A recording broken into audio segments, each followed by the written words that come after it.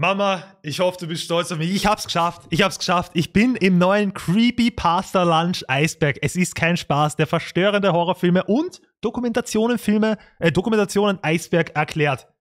W, W in den Chat. W in den Chat. Ich hab's geschafft. Ich hab's geschafft. Ich kann's selber nicht glauben. Auch wenn es nur vier Minuten oder so sind. Ich habe im Laufe der letzten Tage so unfassbar viele verstörende Horrorfilme und unfassbar verstörende Dokumentationen durchgeguckt, um euch heute einen ganz besonderen Eisberg bieten zu können. Und zwar habe ich heute für euch den Eisberg der verstörenden und gruseligen Horror- bzw. Dokumentationsfilme. Ich bin so happy, Alter. Du kannst es dir nicht Das vorstellen. Ey, Shoutout, Shoutout Creepypasta Lunch. Bedeutet, wir bewegen Ich habe sogar versucht, äh, ein paar Memes einzubauen. Uns heute einen Eisberg hinab, Part. der von Ebene zu Ebene immer und immer und immer schrecklicher und verstörender wird. Die Filme zu Beginn des Eisberges werden euch wahrscheinlich noch bekannt vorkommen. Wahrscheinlich werden das Filme sein, die ihr vielleicht auch schon gesehen habt, aber sehr, sehr Ey, Trixie, Dankeschön. Trixie spendet 5 Euro auf entspannten Johannes. Dankeschön, Trixie. schnell. Schon Sehr ab dir. Ebene 3 kommen wir in unfassbar verstörende und widerwärtige Gebiete. Ey, Raffi, du hast 5 Euro donated bekommen. 5 Euro gehen an, meinen, an meinem Mod Raffi weiter. Am Ende Shoutout, dieses danke Eisberges dir. werdet ihr wahrscheinlich denken, dass The Human Centipede oder zum Beispiel Saw nette, freundliche Familienfilme sind. Denn Ja, das, was uns in den tiefsten Ebenen dieses Eisberges erwartet, ist grausamer als alles, was ihr jemals zuvor gesehen habt. Ihr werdet mit euren kleinen Kindern Saw schauen. Also, ich hoffe, dass ihr euch jetzt zurücklehnen könnt, aber eine Sache solltet ihr bedenken. Denn ähnlich wie diese Filme grausam sind und schrecklich, gibt es auch im Internet Leute, die grausam und schrecklich sind und die euch Böses antun wollen.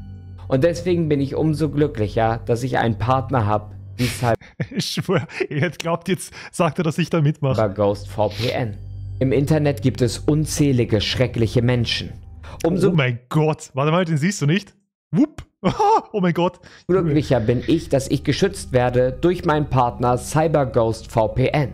Und sie haben jetzt ein tolles Ey, lass mich mal ganz kurz nachschauen, was er hier für einen Code hat. Äh, Ich glaube, ihr kennt CyberGhost noch von meinen Werbungen. Äh, aber gönnt euch mit dem der Code. 83% Rabatt kriegt. Das bedeutet, CyberGhost kostet dann im Monat nur noch 2 Euro und 3 Cent und ihr kriegt noch 4 Monate gratis einfach so oben drauf. Und das Ganze ist auch noch völlig risikofrei für euch, denn ihr habt eine 45-Tage-Geld-Zurück-Garantie. So sicher ist CyberGhost, dass der Service euch gefallen wird. Ich selber bin ein großer Fan von CyberGhost und bedanke mich sehr für die Zusammenarbeit. Also, Scheiße, jetzt habe ich den Code übersprungen. Mit dem Code Creepypasta Lunch. kommen wir jetzt zu dem unfassbar verstörenden und gruseligen Eisberg. Viel Spaß und wenn ihr in Zukunft mehr Eisberge sehen wollt, beziehungsweise Ideen habt, was für Eisberge ihr sehen wollt, Bitte, Bro, ich brauche Kohle. dann schreibt sie gerne unten in die Kommentare. Ebene 1. Ja. Die erste Ebene ist gefüllt mit relativ harmlosen und bekannten Horrorfilmen. Wie bei jeder Ebene werde ich euch versuchen, so gut es geht, die Filme zu erklären und euch zu erklären, warum sie in dieser Liste sind, ohne genauer zu spoilern, was passiert. Einfach, damit ihr die Filme noch anschauen könnt, solltet ihr das denn überhaupt wollen. Ja, das ist cool. Freitag der 13. Eine absolut ikonische Horrorreihe ist Freitag der 13. Wir alle kennen Jason Voorhees, den grausamen Mörder mit der Eishockeymaske, der Kinder am Camp Crystal Lake jagt und ermordet. Man muss aber dazu sagen, dass im originalen Film Freitag der 13. nicht Jason das Monster der Handlung ist. Er übernimmt die grausamen Taten erst ab Teil 2. Man muss aber auch dazu sagen, dass diese Filmreihe für damalige Verhältnisse recht brutal gewesen ist. Ey, by the way, habt ihr von American Horror Story das gesehen? Äh, ich glaube, das heißt äh, 1980 oder so. Ich glaube, äh, 1980 äh, heißt das. Das ist richtig geil gemacht. Das ist quasi genau das gleiche wie Freitag der 13. oder so. Da sind so mehrere so Teenager oder so sind die oder so ähnlich wie so ähnlich wie äh, Freitag der 13. Und die gehen da zu so einem See und dort chillen die dann und da gibt es da so einen Serienmörder und so und der ist da so ähnlich ähm, wie der 1980. Das ist richtig. Es war, glaube ich, meine vielleicht meine Lieblingsstaffel von Aber heutzutage ist American sie Horror eher harmlos, vor allem verglichen mit den Filmen, die in den tieferen Ebenen erscheinen. Besonders auch, wenn man an eher dämliche Fortsetzungen wie Jason in New York oder Jason X denkt, 1984. wo er genau. im Weltall ist. Was? The Ring. Das kenne ich gar nicht. The Ring oder auch das japanische Original Ringu gilt bis heute bei vielen als unfassbar gruseliger Horrorfilm. Pingu? Es geht um ein Videotape, welches einige kryptische Szenen zeigt und dieses Horrortape darf man sich niemals ansehen. Ansonsten klingelt nämlich das Telefon und eine Stimme sagt dir, dass du nur noch sieben Tage zu leben hast. Eine Vorhersage, die meistens auch eintritt. Zwar sagen viele, dass sie bis heute vor Samara oder Sadako im Original panische Angst haben, aber die Filme waren tatsächlich recht harmlos und haben. Okay, was ist? Okay, ich sag, okay, wir versuchen herauszufinden, wie wir die Filme bieten können. Pass auf, ich habe jetzt schon eine Lösung für, für The Ring. Entweder Bodyguard, okay, aber das ist die einfache, äh, das ist die einfache Lösung. Du machst einfach eine Mr. Beast Challenge. Du machst eine Mr. Beast Challenge, wo du dich in einen Container zehn Tage lang einsperrst. So, quasi. Äh, dann rufst du sie an, davor, bist dann in dem Container drinnen und was will sie dann machen? Ich glaube, ich weiß nicht, was passiert, wenn sie dich nicht erreichen kann. Oder wenn du in so einem, oder wenn du dich einbetonieren lässt irgendwo. Da musst du dich ja ausgraben erstmal. Das, das kann das ja nicht. Ähm, ich weiß nicht genau, wie die Handlung von dem Film exakt ist, aber meiner Meinung nach wäre es fair, wenn sie ab dem siebten Tag, 0 Uhr, spawnt sie und sie kriegt nichts zu essen, außer sie killt dich. Weil dann musst du dich, auf, äh, musst du dich äh, fangen innerhalb von drei Tagen oder vier Tagen oder so, weil sonst hast du gewonnen. Äh, das wäre dann so mein Konzept von dem Film. Zum Beispiel in Deutschland eine Freigabe ab 16 Jahren. Conjuring. Ein recht moderner Horrorfilm aus dem Jahr 2013, der sehr beliebt ist. Oder? Es geht hierbei um die Ermittlung von Ed und Lorraine Warren, zwei Geisterjäger, die es auch wirklich gegeben hat.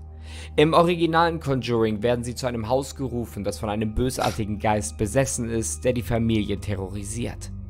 Der Film hat eine gruselige Atmosphäre und einige wirklich gute Jumpscares, aber er wird von niemandem als wirklich traumatisierend beschrieben. Damn. Nicht so wie die anderen Filme, die noch kommen. Chucky, die Mörderpuppe. Hey, Chucky ist ein weiteres ikonisches Horrormonster. Im Jahr 1988 erschien der Film Child's Play und es geht dort um eine Puppe namens Chucky, die von einem Serienmörder namens Charles Lee Ray besessen ist. Dieser Serienmörder, der durch schwarze Magie in Chucky eingefahren ist, begeht als Chucky weitere grausame Morde und versucht seine Seele in einen neuen menschlichen Körper zu bringen. Einfach wegkicken. Ich denke mal auch, wir haben letztens auf äh, Discord darüber gesprochen, ähm, wie man welches Tier, das sich attackiert, äh, besiegen könnte. Ja, und jetzt kommt die Theorie, meine Freundin wird mich hassen, dass ich das hier offenbare, aber ein Wildschwein, okay? Scheiß mal drauf, ob du Jäger bist oder ob du dich auskennst oder sowas. Ein Wildschwein. Ein Wildschwein attackiert mich, okay? Ich, ich, ich würde safe verlieren. Safe würde ich verlieren, okay? Aber nicht, wenn ich einen Baum, nicht, wenn ich einen Baum habe. Wenn ich im Wald bin, wenn ich in seinem Natural Habitat bin. Ich erkläre euch ganz kurz. Das Wildschwein attackiert mich, okay? Es kommt jetzt her, sieht mich und sagt, hallo, ich würde dich gern schlagen oder sowas. Jetzt bin ich hier und hier steht der Holy Shaker. Der Holy Shaker ist jetzt der Baum, okay? Der Holy Shaker ist der Baum, sieht man den? Ja, genau. Und ich stehe quasi hinter dem Baum. So, das kann er nicht auf mich zurennen, das kann er nicht auf mich zuspringen. So, das heißt, es muss an diesem Baum vorbei und mich dann so, so treffen. Ne? Und ich mache einfach den hier. Weißt? Dann stehe ich auf einmal daneben. Dann muss das Wildschwein erstmal rausholen, muss wieder, wupp, auf einmal stehe ich hier. Die ganze Zeit so weiter. Und wenn du dann Glück hast, wenn das Wildschwein nicht weiß, was es machen soll, dann stehst du einfach da bei dem Baum das Wildschwein steht da auf der anderen Seite, überlegt gerade und du einfach. Was? Was willst du machen? Was willst du machen? Das will ich sehen? Ey, ich schwör's euch. Ich schwör's euch. Ich schwör's euch. Wildschwein könnte ich, könnte ich, könnte ich. Ich gehe ich geh aber nur auf Unentschieden. Ich gehe nur auf Unentschieden. Also gewinnen könnte ich, glaube ich, nicht. Aber wenn ich einen Baum habe und das kann dann nicht durch oder sowas, dann, äh, dann Unentschieden. Die Filme sind ziemlich brutal. Vor allem passieren aber mit Chucky. Ich habe auch gesagt. Nein, nein, nein. Ja, eh. Eins gegen eins Wildschwein geht, aber eins gegen eins Hirsch nicht. Ja, was willst du gegen einen Hirsch machen? Ein Reh wäre machbar. Brutale Dinge. Aber für mich ist diese Filmreihe überschattet von mehr als merkwürdigen Folgeteilen. Wie zum Beispiel. Der braucht da keinen Anlauf. Der, muss mich nur erwischen. Der muss nur um den Baum herum. Das ist ein fettes Viech mit niedriger, niedrigem Schwerpunkt. Das ist wie wenn du mit einem SUV durch die Kur in die Kurve fährst. Und ich bin ein schlankes Fahrrad. Chucky und seine Braut, wo er eine Frau findet. Oder Chuckys Baby, wo er ein Kind namens Darf man fragen, wie du trainierst für so einen Top-Body? Uh, Holy trinken und den ganzen Tag uh, auf der Couch stehen. Glenn bekommt. Ich der relativ Gene. nett ist. Man, man hätte bei dieser Filmreihe einfach bei Teil 1 aufhören sollen. Annabelle. Von einer eher lustigen Puppe zu einer wirklich gruseligen Puppe. Annabelle ist eine Filmreihe über die verfluchte Puppe namens Annabelle, die es auch in echt gegeben hat, beziehungsweise weiterhin gibt. Das habe ich mitbekommen. Das war dieser eine Hype-Film, wo alle gesagt haben, yo, der ist unfassbar creepy. Oder? War das der? Zwar sind die Erlebnisse aus dem Film nicht unbedingt echt, trotzdem gilt Annabelle 2 als sehr beliebt, besonders da er eine extreme Dichte und Fülle an überraschenden Jumpscares besitzt. Ob alle diese Jumpscares wirklich gruselig sind, sei mal dahingestellt, aber als ich den Horrorfilm gesehen habe, musste ich mir an einigen Stellen die Hand vor die Augen halten. A Nightmare on Elm Street. Eine meiner absoluten Lieblinge. Die Ja. A Nightmare on Elm Street Reihe handelt von Freddy Krüger. Ein Mann, der in die Träume von Kindern eindringen kann und sie dort, wo sie absolut schutzlos sind, umbringt. Der Grund, wieso Freddy zu dieser Fähigkeit kam, ist allerdings von Film zu Film unterschiedlich. In der Neuauflage wird bestätigt, dass er Kinder missbrauchte und deshalb von den Eltern der Kinder ermordet wurde. Im Original ist die Sache aber nicht so eindeutig. Es wird darauf angespielt, dass er Kinder missbrauchte und tötete, aber wirklich klar gesagt wird es nicht. Auch wenn die Beweise darauf deuten, gibt es bis heute eine Gruppe an Leuten, die fest überzeugt sind, dass Freddy in Wahrheit unschuldig ist. Aber ja, der Film ist stellenweise sehr brutal mit verstörenden Szenen, gerade weil Freddy seinen Körper und die Umgebung nach Belieben verzerren und verändern kann. Das ist schon sehr geil. Also es gibt manche Filme, auch wenn man jetzt Chucky nicht so fühlt oder sowas, aber das sind so, so, so Filme, die, da ist das Konzept einfach sehr, das, das, das bleibt dir erhalten und halt Freddy, Freddy Krüger, da denkst du instant an diesen, an dieses Oberteil, was er hat und an diesen Hut und an sein Gesicht und sowas, das ist sehr markant, das gefällt mir. Scream. Genauso wie, wie bei Kommen Scream. wir zu Ghostface. Das Monster, welches die Slasher-Szene beliebt gemacht hat und dessen Maske in jedem billigen Laden Ist das Ryan Gosling? zu Halloween zu finden ist. Es geht letztlich um einen Mörder, der Studenten terrorisiert und mit ihnen, teilweise am Telefon, Spielchen spielt. Ghostface ist vielleicht nicht das stärkste oder gruseligste Monster, aber scheinbar ist er ein Nein. Wesen, welches einfach nicht sterben kann. Okay. Zumindest gibt es sehr, sehr viele Folgeteile. Ich denke mal schon, aber der schaut voll so aus. Insidious. Der Horrorfilm aus dem Jahr 2010 namens Insidious zeigt die Lambert-Familie, die mit dem Koma ihres Sohnes Dalton umgehen muss. Während dieses Komas passieren unerklärliche paranormale Ereignisse, weshalb sie sich an die paranormale Ermittlerin Elise Rayner wenden. Insidious Ja, ganz kurz. Wenn ich eine Klassenpräsentation halte, eine Gruppenpräsentation, und ich aber keine Credits an meine, an meine Mitschüler geben will, ja, dann schreibe ich sie auch da unten so hin. Jo, lass mal, lass mal alle Leute, die da mitgewirkt haben, da unten hinschreiben, aber so undeutlich wie überhaupt möglich. Alles klar, passt, machen wir. ist ein wirklich interessanter Horrorfilm Dankeschön. mit einer gruseligen. Atmosphäre, der das Dämonen- und Monstergenre auf eine interessante neue Weise behandelt. Es geht nämlich diesmal um die Astralebene, ein merkwürdiges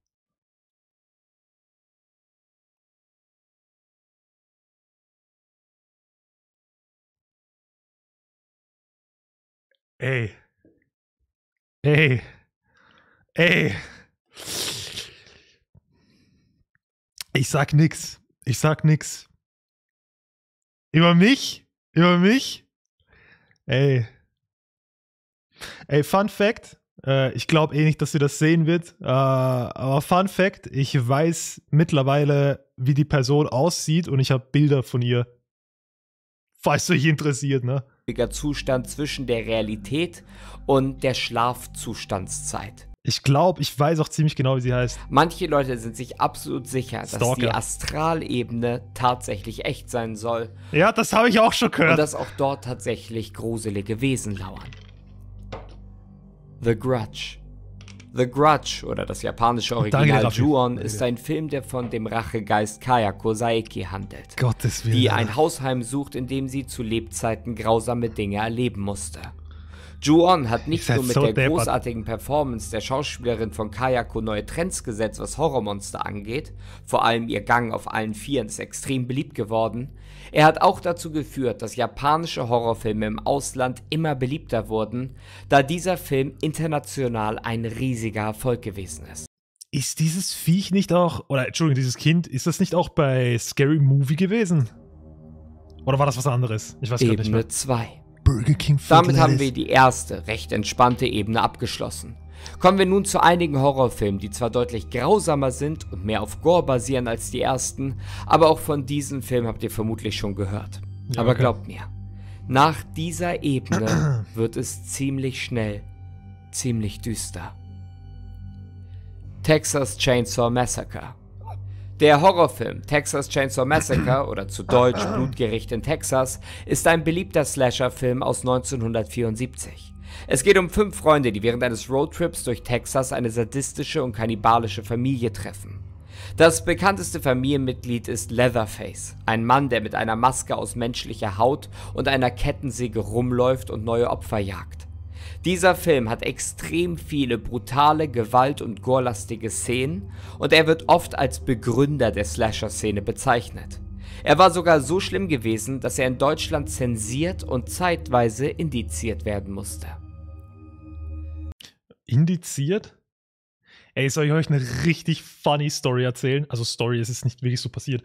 Wir haben uns damals, äh, wir haben drei Katzen, so und ähm, meine Freundin und ich. Und als wir die dritte Katze geholt haben, da schreibst du halt also mehrere solche Vereine an und sowas und so, yo, äh, weißt du, da gibt es halt einen, die, die, die holen so Katzen, äh, die entweder aus Österreich oder aus dem Ausland und sowas, die haben so eine, eigene Leute, die bringen die Katzen dann rüber und sowas und dann äh, schauen die, dass sie die halt äh, vermitteln und fragen natürlich auch die, oder, oder schauen sich halt auch die Leute an. Die haben uns zum Beispiel gefragt, so, yo, äh, könnt ihr uns ein Video von eurer Wohnung schicken, damit wir sehen, okay, ist die Wohnung groß genug? Hat sie da, äh, keine Ahnung, ist die sauber und sowas? Weil nicht, dass dann in einem Dreckstall oder sowas halt lebt.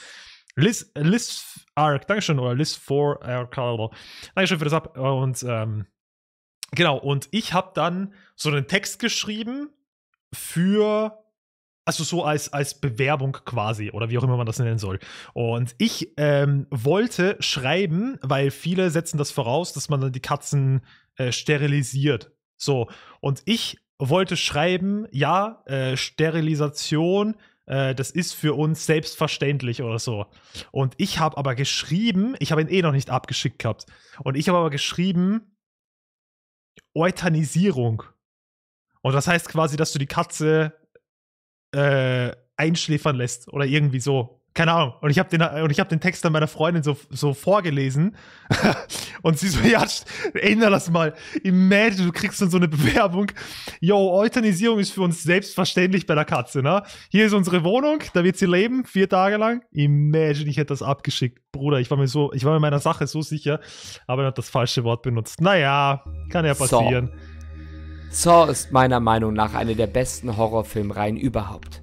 Es geht um den Jigsaw Killer, der sich Opfer aussucht, die in seinen Augen schreckliche es ist für uns logisch, dass wir die einschläfern lassen, Dinge ja. getan haben, um ihnen eine Chance auf ein zweites Leben zu geben. Dafür müssen sie in brutalen und tödlichen Spielen um ihr Überleben kämpfen. Ein Kampf, der meist sehr brutal endet. Die Fallen in Saw sind extrem brutal und blutig. Der menschliche Körper wird häufig auf unglaublich schmerzhafte Art zerstört. Doch während viele diese Filme als simple Slasher abtun, hat Saw auch eine recht diepe Story zu bieten das mit stimmt. interessanten Charakteren. Haus der Tausend. Also Saw ist extrem spannend, weil du dir erstens, weil, weil es erstens um moralische Fragen geht und zweitens auch darum, okay, könnte ich das schaffen, würde ich das überleben? Leichen. Haus der Tausend Leichen ist ein Film aus dem Jahr 2003. Es geht um eine Gruppe von Freunden, die durch die ländlichen Gebiete Amerikas reisen und dort ein seltsames Museum finden, in dem es um den sogenannten Captain Spaulding geht. Daraufhin stellen sie weitere Untersuchungen an und stoßen auf die Firefly-Familie, wo Captain Spaulding ein Teil von ist. Diese Familie ist eine Gruppe sadistischer Mörder, die Opfer besonders grausam quälen und töten. Der Film schockierte nach der Veröffentlichung viele Zuschauer wegen seiner extrem verstörenden Szenen und seinem recht besonderen Stil. Viele sagen, dass dieser Film wirklich rohe und brutale Gewalt zeigt. Der Typ heißt aber nicht wirklich Rob Zombie, oder? Das ist ein Künstlername. The Human Centipede. Was muss ich über Human Centipede sagen, was ihr nicht schon wisst? In dem Film geht es um einen deutschen Chirurgen 100% medizinisch akkurat. Ah ja. namens Dr. Heiter, der ein wirklich verstörendes Experiment durchführen Ah. will.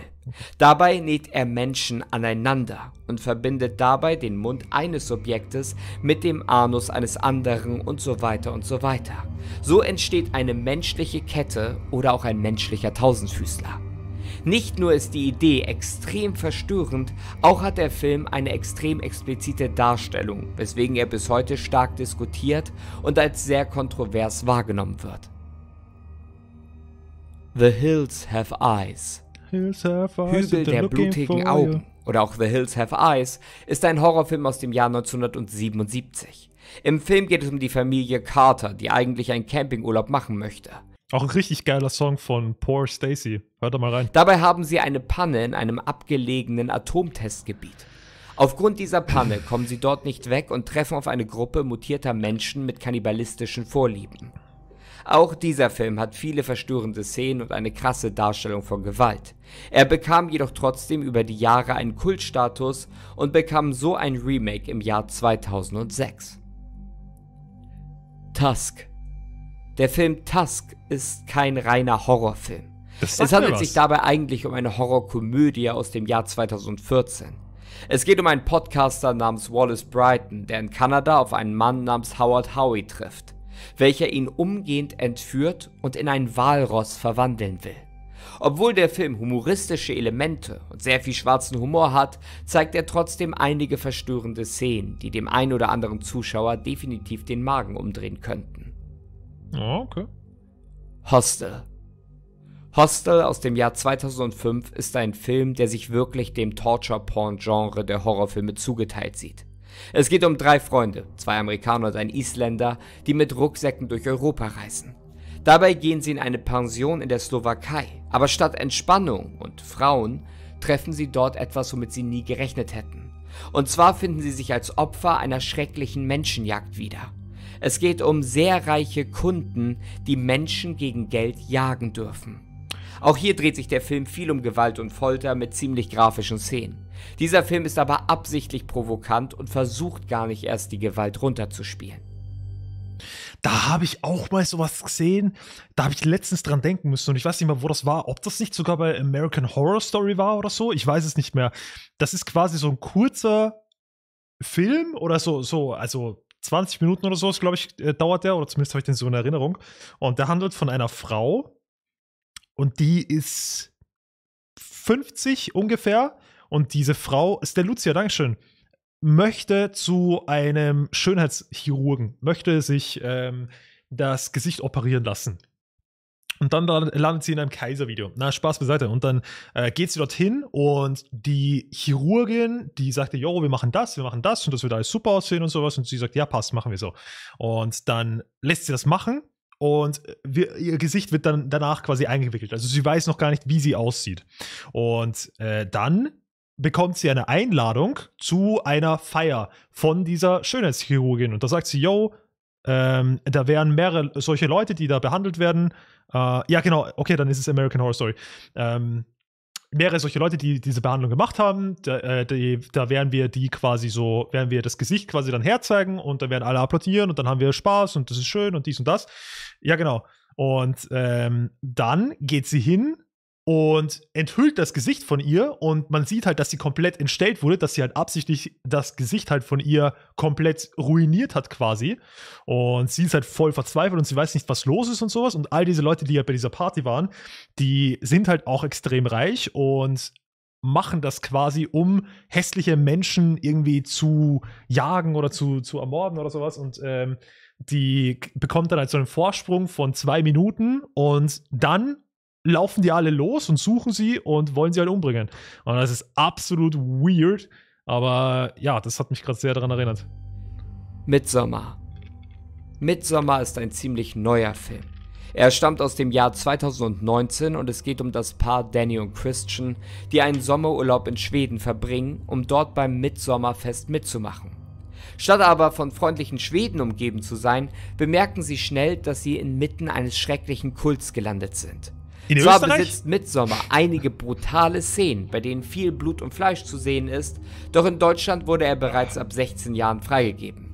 Andere Filme, die wir jetzt schon behandelt haben, waren erst ab 18 frei. Ebene 3. 3. Nun sind wir bei Ebene 3 angekommen. Schaut ihr jetzt schon so Und aus? glaubt mir, ab jetzt wird es wirklich verstörend. Salo. Salo oder die 120 Tage von Sodom ist ein italienischer Film aus dem Jahr 1975, Salo. der auf dem gleichnamigen Buch basiert. Die Handlung spielt während des Zweiten Weltkrieges in der von Italien besetzten Region Salo. Dort wird eine Gruppe von jungen Menschen in ein Anwesen geführt, wo sie von vier Faschisten, die folgende Titel haben, der Präsident, der Richter, der Bischof und der Herzog, auf unfassbar grausame Art gefoltert. Und wenn ich grausam sage, dann meine ich auch grausam. Die Szenen sind extrem explizit, sadistisch und unmenschlich. Der Film war aufgrund seiner verstörenden Natur und der Gewalt in vielen Ländern verboten oder stark zensiert worden. Bis 2011 war er auch in Deutschland indiziert. Dies bedeutet, bis 2011 durfte er nicht öffentlich beworben bzw. nur eingeschränkt verkauft werden. Damn. Martyrs. Martyrs ist ein französischer Horrorfilm aus dem Jahr 2008. Im Film geht es um Lucy, ein traumatisiertes Mädchen, welches als Kind gefoltert wurde und nun versucht, Rache an ihren Peinigern zu verüben. Sie möchte, dass ihre Peiniger für das leiden, was sie ihr angetan hatten. Der Film Martyrs ist ziemlich künstlerisch und hat definitiv eine philosophische Metaebene, dennoch muss klar erwähnt werden, dass der Film rohe Gewaltdarstellung hat und diese verstörend mit anzusehen sind. Er ist nicht so verpönt wie andere Filme dieser Liste, weil er eben versucht, wirklich eine diepe Story zu vermitteln, aber dennoch ist er brutal. Shujo Tsubaki. Shuyoka. Kommen wir nun zurück nach Japan. Bei Shujo Tsubaki handelt es sich tatsächlich um einen Anime-Film aus dem Jahr 1992. Es geht um ein junges Mädchen namens Midori, die nach dem Tod ihrer Mutter in einen reisenden Zirkus aufgenommen wird. Was erstmal nach Material für eine lustige Zeichentrickserie klingt, wird ziemlich schnell ziemlich brutal. Midori wird misshandelt und erlebt viele bösartige Grausamkeiten. Ich sehe das immer anhand vom Chat, ob der wirklich krank ist oder nicht, und der scheint äh, nicht gut zu sein. Gerade für ein Anime hat dieser Film sehr klare Darstellung von Gewalt, Missbrauch und Sex. Gore wird explizit dargestellt. Trotz der künstlerischen Aufmachung ist der Anime nicht sonderlich gut bei Nutzern angekommen. Wer sich für die Story also interessiert, sollte lieber den gleichnamigen Manga lesen. Pink Flamingos. Kommen wir zum nächsten verstörenden Film aus dem Jahr Was ist das, Alter? 1972. Sind aus Matan, der Film. Im Film Pink Flamingos geht es um die Person namens Divine, die einen besonderen Titel erlangen möchte. Dieser Titel ist The Filthiest Person Alive, also die dreckigste Person auf der Welt. Dieser Film spielt absichtlich mit der Verletzung bekannter Normen. Eine Szene, die sehr gut beschreibt, worum dieser Film handelt und warum der Film in dieser Liste ist, ist die Szene, in der Divine echten Hundekot verspeist, der gerade frisch von einem Hund gelegt wurde. Auch hier gibt es einige Gore-Szenen, die sehr offen gezeigt werden und auch viele obszöne Szenen sind keine Seltenheit. Wer sich diesen Film angucken möchte, sollte definitiv einen starken Magen haben. A Serbian Film. ah, den habe ich schon mal gesehen. Den habe ich schon mal gesehen. Also A nicht den Film, Serbian aber. Film ist ein relativ neuer. Horrorfilm aus dem Jahr 2010. Es geht um einen Mann namens Milos, ein ehemaliger Pornodarsteller, der in schwerer Geldnot ist. Da er keinen anderen Ausweg sieht, nimmt er ein Angebot an, wo er scheinbar an einem Kunstprojekt mitwirken soll.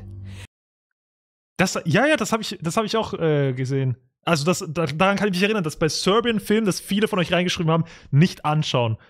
Bei irgendeinem Eis, Eisbär war er doch mal Platz 1. Ich glaube, wir haben nicht schon mal so ein Creepypasta Lunch verbotene Filme oder sowas gesehen.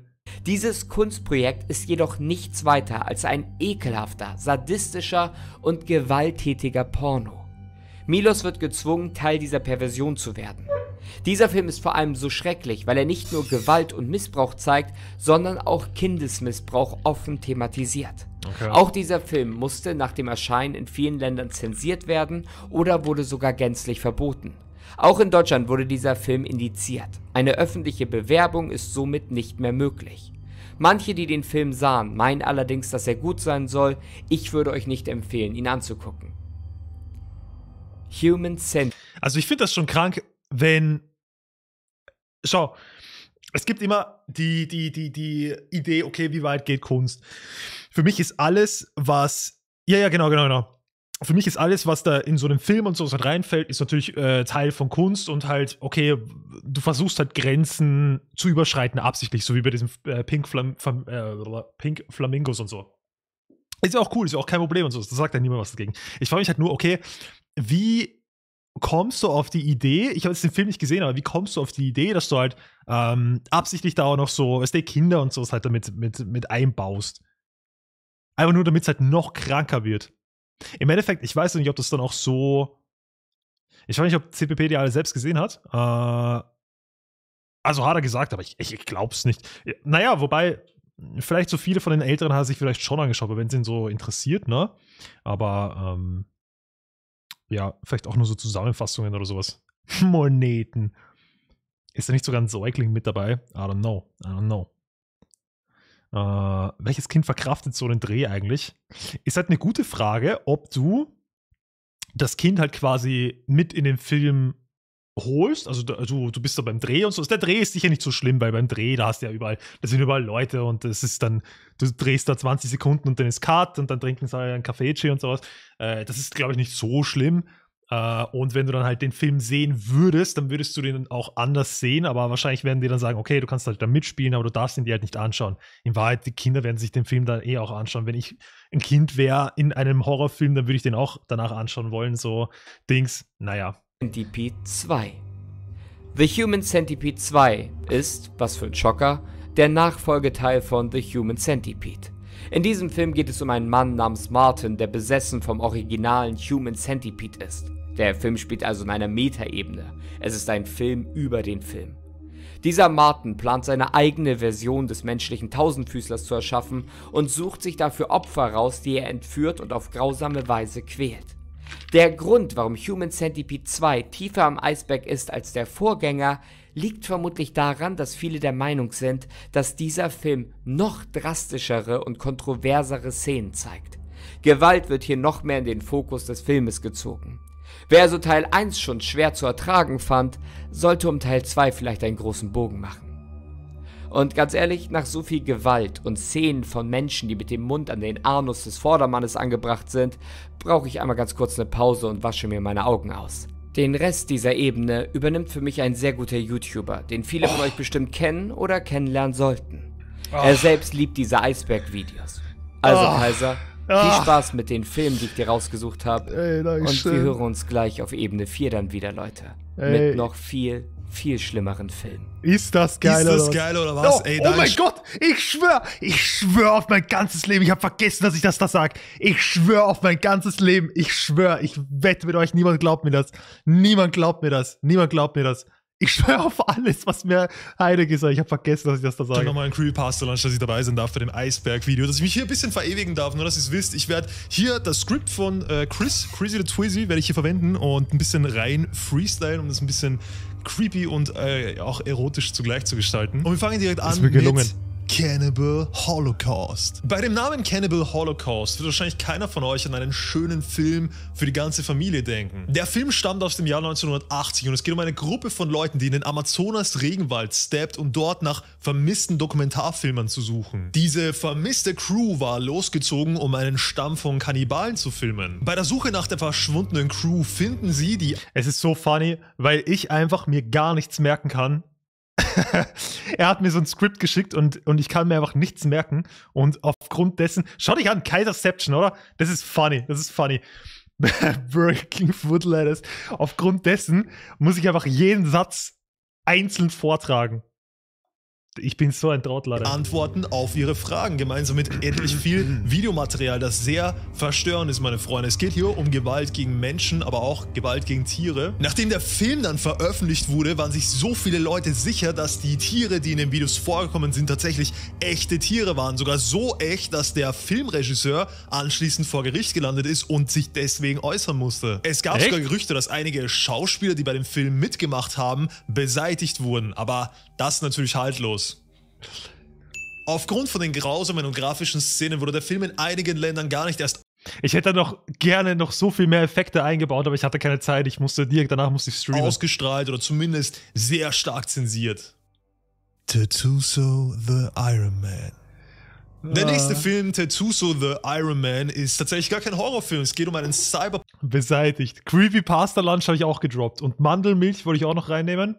Und dann noch irgendwie sowas wie wahr gewesen. Punk-Film aus Japan Shoutout, Shoutout, dass der das durchgehen lässt. aus dem Jahr 1989. Der Plot von dem Film ist mehr als nur interessant. Es geht um einen Mann, der einen Autounfall hat. Und nachdem er diesen Autounfall hat, bemerkt er, wie sich mit der Zeit immer mehr Körperteile von ihm in Metall verwandeln. Und nicht nur das, er fängt auch noch an zu halluzinieren und versteht die ganze Welt nicht mehr. Einige Szenen von dem Film sind relativ gore-lastig, muss man schon sagen, aber die meisten Leute feiern diesen Film. Also es gibt eine relativ große Community von Leuten, die wirklich Fan davon sind und vor allem Fan von dieser abstrakten Idee, so einen Film zu teilen. Aber das ist einer von den, von den Schau mich an. Glaubst du, das ist ein, glaubst, das ist ein heftiger Beitrag in dem, in dem Eisberg oder was? Was glaubst du, was da noch auf dich zukommen wird? Ha?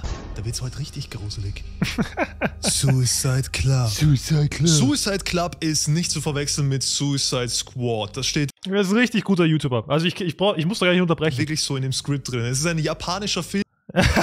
Ist und nicht zu verwechseln mit Suicide Squad. Das steht wirklich so in dem Skript drin. Es ist ein japanischer äh, ich habe das Skript um 3 Uhr nachts gemacht, aber war ein guter Joker drin geschrieben. Film, mal wieder aus dem Jahr 2001. Es Was das war, das war ich selber. Wo, ich bin da hinten herumgelaufen und das habe ich da Es geht um eine Massenselbstmordwelle, die durch Tokio schwemmt. Von einer Schule gibt es 54 Mädchen, die vor den Zug springen, um sich das Leben zu nehmen. Natürlich weckt das irgendwann mal das Interesse der Polizei, zumal das auch nicht der einzige Vorfall war in ganz Tokio. Also da gibt es wirklich mehrere Sachen, die gleichzeitig abgehen und worauf die Polizei draufkommt, ist, dass es eine Webseite mit dem Namen Suicide Club gibt. Und wenn man auf diese Webseite geht, sieht man eingezeichnet die Selbstmorde von diesen Personen, von den Mädchen zum Beispiel aus der Schule, als rote und weiße Kreise eingezeichnet. Das Ganze geht aber noch ein bisschen tiefer und es ist wesentlich gruseliger, als die Polizei ursprünglich dachte. Der Film zeigt nämlich sehr düstere und gewaltvolle Darstellungen von Selbstmord und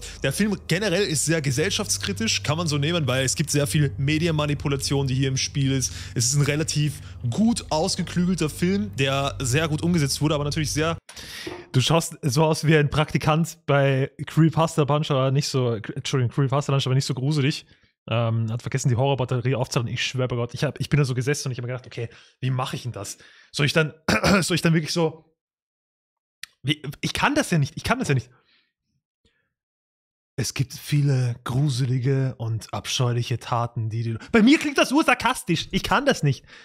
Dankeschön, Kevin K. 92. Moin, moin, alles frisch. Um, wie, um was geht? Um was geht's? Um was geht's, Kevin, fragst du mich? Was geht's? Ich sag dir, was geht's. Ich mache hier bei Creepypasta Lunch bei dem Eisberg mit. Ich kann das nicht, deswegen, ich muss normal reden. Ich kann nur so, ah, hallo, haha, die Schulmädchen, die hauen sich davon zu. traumatisierend Gottes sein kann. Das auf jeden Fall, aber es macht ihn auf jeden Fall sehr sehenswert.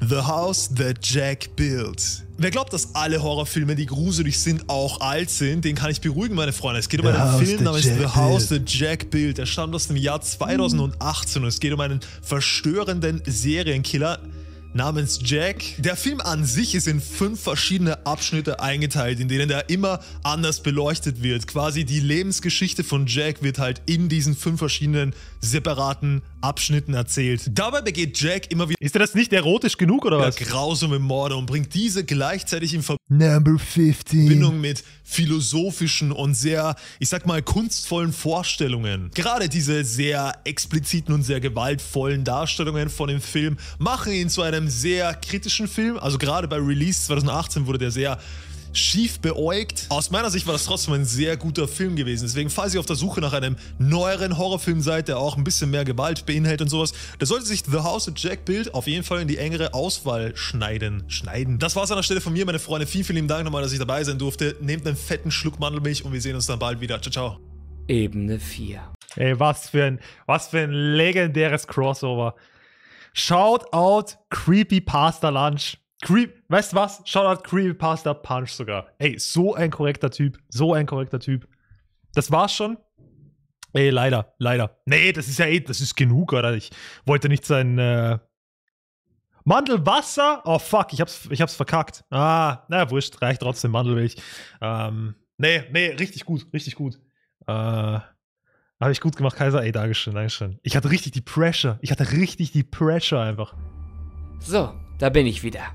Mit den Filmen aus Ebene 3 aus dem Weg kommen wir nun in noch deutlich, Geisterrituale im Duo.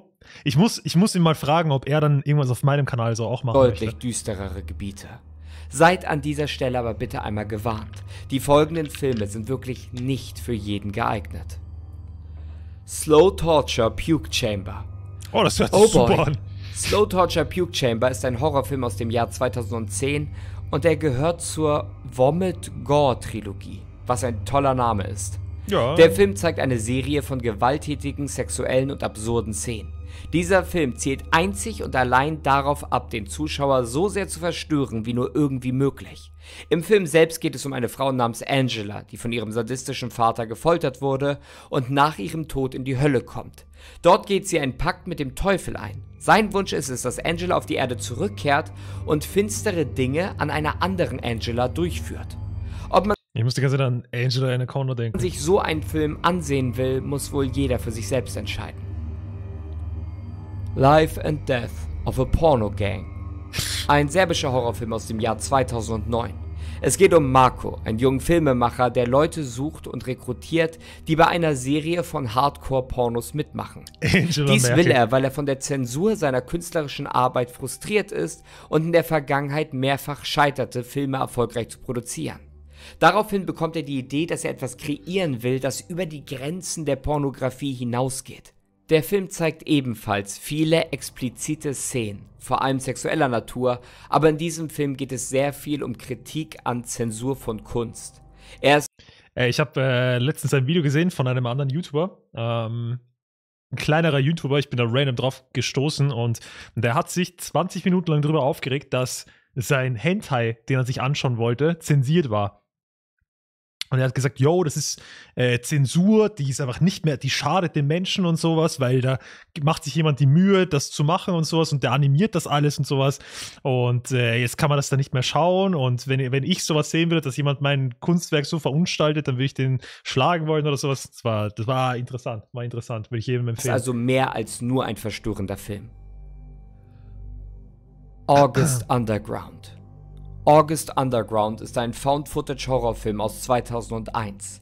Es geht hierbei um das Paar Peter und Krusty, die einen schrecklichen Amoklauf durchführen und diesen dokumentieren. das schaut aus wie eine Hand, die so ein äh, Chicken hält. Wisst ihr, was ich meine? So, ein- so ein Gummihändel. Alle grausamen Szenen werden von dem Paar mit ihrer eigenen Kamera aufgezeichnet, was dem ganzen fiktiven Film eine gruselige Realität gibt. Die brutalen Mordszenen werden dadurch noch deutlich grausamer, als sie ohnehin schon sind. Auch hier warfen viele dem Film eine krasse Grenzüberschreitung vor. Das Ganze war den Filmemachern aber allerdings egal, denn es gibt mittlerweile zwei Fortsetzungen. Snuff 102 Snuff 102 ist ein Horrorfilm aus Argentinien, der im Jahr 2007 veröffentlicht wurde. Es geht um eine Dokumentarfilmerin namens Angela, die sich den Untergrund von Buenos Angela! Aires genauer anschaut. Ihr Ziel ist es dort, eine besondere Gruppierung zu interviewen, die ziemlich brutale Dinge tun, ohne jetzt genauer den Film zu spoilern. So Gummihändel, das ist nichts zum Essen, du Trottel. Was Angela allerdings nicht weiß, ist, dass diese. Leute nicht an ein einem Spaß. Interview interessiert sind, sondern dass Angela zum neuen Opfer werden soll, das Teil eines neuen Snuff-Filmes wird. Die gesamte Flucht vor ihren Verfolgern wird auf der Kamera von der Filmcrew festgehalten und gibt diesem Film eine gewisse Realität. Bis heute wird Snuff 102 von vielen als einer der extremsten Horrorfilme überhaupt bezeichnet. Und auch er hat viel Zensur und Verbote erfahren. Allein auf der Hülle des Filmes wird gewarnt, dass es absolut verstörend und grausam ist. Ich finde es aber geil, wenn man solche Stilmittel benutzt, wie eben, yo, den Blick durch die Kamera oder so. Weil das gibt einfach richtig realistischeres Feeling, weil obviously jeder Horrorfilm ist dann normalerweise halt so in dieser Movie-Thematik aufgebaut und sowas und dann siehst du halt direkt, okay, das ist halt nicht echt. Aber wenn dein Gehirn sieht, yo, ich sehe gerade eine Kamera, ähm, gibt es einen Bahn für Beleidigungen? Hast du mich schon beleidigt? Nee, ich bin da ausgenommen. Äh, wenn, äh, wenn du das durch so eine Kamera siehst, dann ist es was anderes. Man muss aber dazu sagen, ausgehend davon, dass dieser Film schon in Ebene 4 auftaucht, zeigt euch das, was für Filme hier noch kommen werden. Aber ja, man sieht grausame Szenen und viel Gewalt. Slaughtered Vomit Dolls. Oh boy, diese Namen. Glaubt mir, Kotze. das wird nicht besser im Laufe des Eisberges. Slaughtered Vomit Dolls ist ein Film aus dem Jahr 2006 und ratet mal, wozu er gehört. Genau, zur Vomit Gore Trilogie. Es geht um Angela Aberdeen, die Traum Bruder, Angela Verschwörung. Angela Verschwörung. Was ist denn da los? Hat er das absichtlich alles so hintereinander gemacht? Bruder, wie viele Angelas gibt's da bitte? Angela Anaconda, Angela Merkel und Angela, wen gibt's noch? Angela, Angela Lina Jolie? traumatische Dinge in ihrer Kindheit erfahren hat, eine erfolglose Stripperin ist und an Bulimie leidet. Sie war mit 14 von zu Hause abgehauen, nachdem sie dort eine Kirche niedergebrannt hatte. Angela erlebt dabei, während sie abhaut, Visionen von ihrer Vergangenheit, in denen sie grausame Morde mit ansieht, bei denen sie scheinbar involviert war. Und so driftet sie in extrem selbstzerstörerisches Verhalten ab. Sehr, sehr, sehr, sehr viele verstörende und blutige und gewalttätige Szenen folgen. Mhm. Der Name sollte euch eigentlich schon davon abhalten, diesen Film anzugucken. Angela Aber oder was? Auch dieser Film wurde oft zensiert und verboten. Viva la Muerte. Kommen wir mal wieder zu einem etwas älteren Film. Viva la Muerte ist ein französischer Film aus dem Jahr 1971. Viva la Muerte bedeutet so viel wie es lebe der Tod. Es geht hierbei um einen Jungen namens Fando, dessen Vater von der eigenen faschistischen Mutter angezeigt wird, ein Kommunist zu sein, weswegen er festgenommen wird. Fando macht sich auf die Suche, ihn zu retten und stellt sich dabei stets vor, was für grausame Dinge seinem Vater wohl angetan werden. Dieser Film bietet sowohl politische Satire, Kritik an Typen, Angela? als auch Angela. verstörende Szenen, die einem Kind angetan werden. Viele sehen diesen Film gespalten. Der Film wird häufig von Kritikern gelobt, aber die Szenen im Film werden meistens eher verabscheut. Nekromantik. Kommen wir mal zu einem deutschen Film, und ich wünschte, es wäre kein deutscher Film, aus dem Jahr 1987. Jörg Buttgereit. Alles klar, Bro. Im Film geht es um Rob und Der Uwe Bohrer. Ah, ja, ja. Betty. Ich ein schon, Paar seh mit schon. einer Vorliebe für Tod und Nekrophilie, sprich Ja. dem Verkehr mit Toten. Rob arbeitet in einem Reinigungsdienst, die sich auf die Beseitigung von Leichen spezialisiert haben. Und eines Tages entscheidet er sich, einen dieser Körper mit heimzunehmen, um ihn quasi als Geschenk seiner Frau zu geben. Was daraufhin folgt, ist eine Dreiecksbeziehung zwischen ihm, seiner Ehefrau und dem Körper. Eine Dreiecksbeziehung mit ganz viel Eifersucht zwischen dem Mann und seiner Frau. Ich denke, ich brauche euch nicht beschreiben, was für Szenen man in diesem Film sehen kann und warum er so extrem kontrovers ist. Ihr könnt es euch bestimmt denken oder denkt besser einfach nicht daran. Home Office oder was? Melancholie der Engel. Von einem deutschen Film zum nächsten. Melancholie der Engel ist ein Exploitation-Horrorfilm aus 2009. Es geht um eine Gruppe aus sechs Personen, die sich, nachdem sie sich auf einem Rummel kennengelernt haben, entscheiden, in ein abgelegenes Gehöft zu gehen.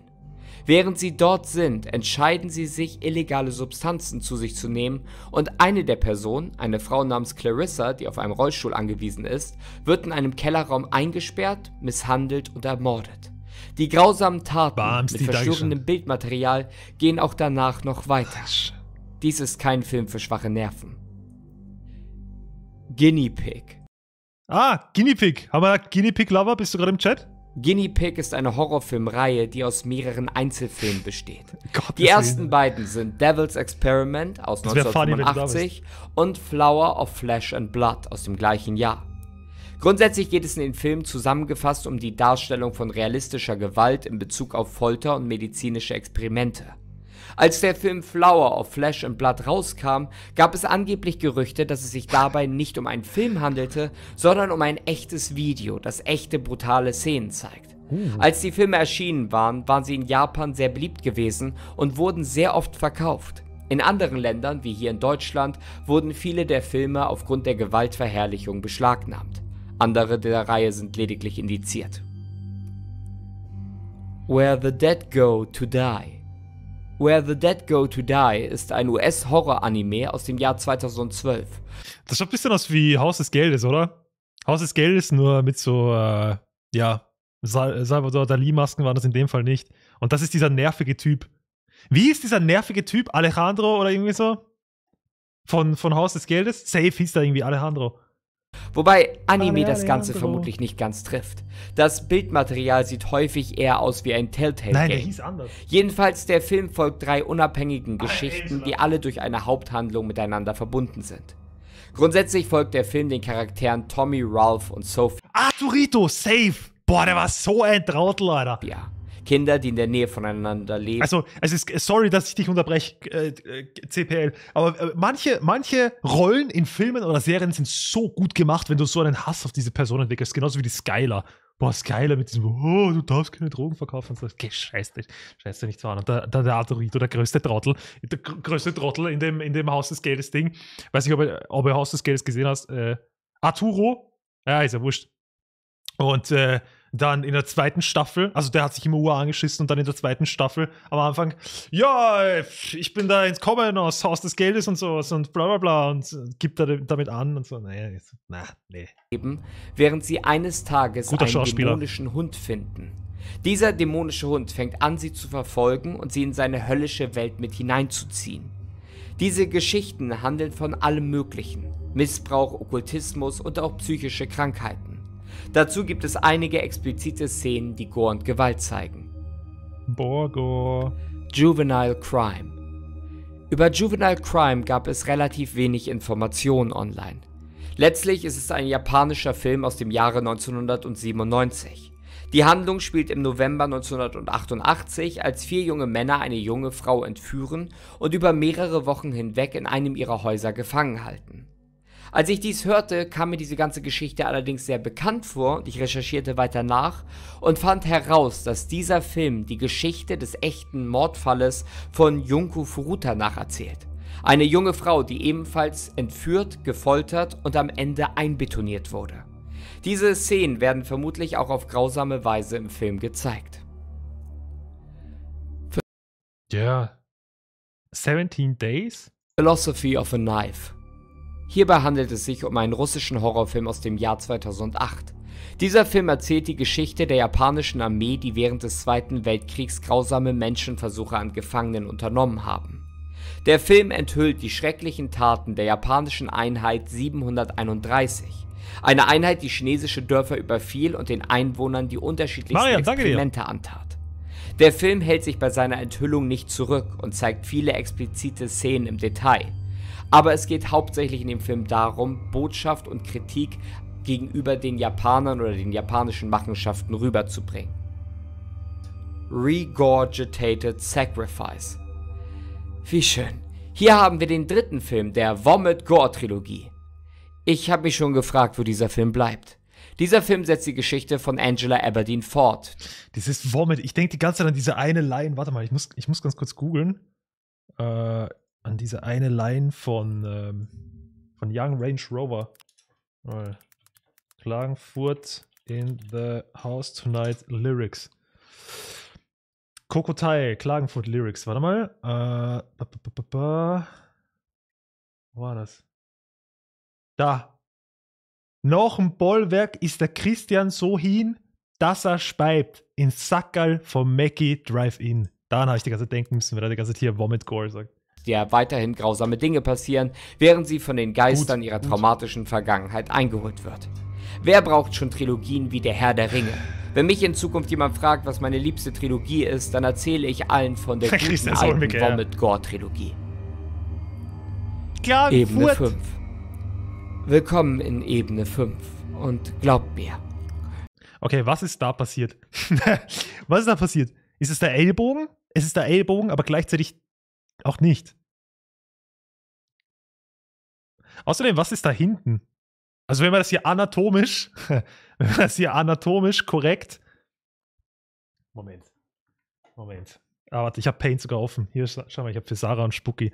Wenn wir das hier anatomisch korrekt machen, dann müssten wir sagen, das ist jetzt, das ist die, das ist die Frontansicht. Zack, da ist die Couch.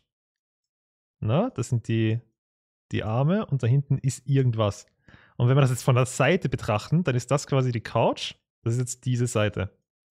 Dann ist das quasi die Couch, dann ist hier der Ding und dann ist hier. Ihr werdet sehen, was ich meine. Ihr werdet sehen, was ich meine. Na? Na? 100 Prozent. 100 Prozent.